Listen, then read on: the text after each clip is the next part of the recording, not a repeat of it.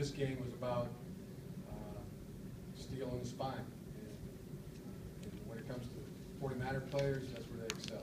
They got titanium in the spine. Do you have titanium in your spine?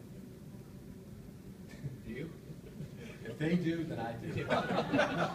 Say, were you, have you been bothered by the conversation the last week, two weeks?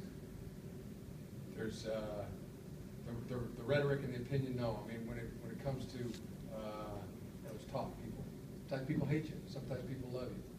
A lot of times they don't even know you. So, uh, you know, some people think you're good, some people think you're, you're bad. Uh, You know, that, that's opinion, that's talk.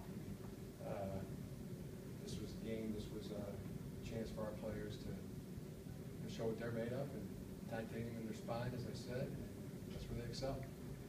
The, uh, that- Anything else? Yeah. All right, thanks. All right. Thank